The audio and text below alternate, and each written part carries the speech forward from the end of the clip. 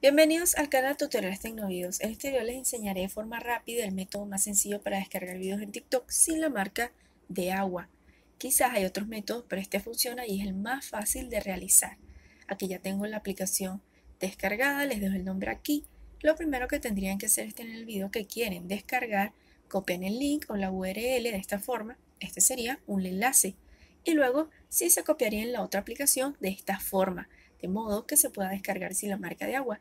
Y listo, ya pueden compartirlo con sus amigos o quizás subirlo a otra red social de su preferencia. Espero que este video les haya ayudado. Si es así, deja tu like, suscríbete y hasta un próximo video tutorial.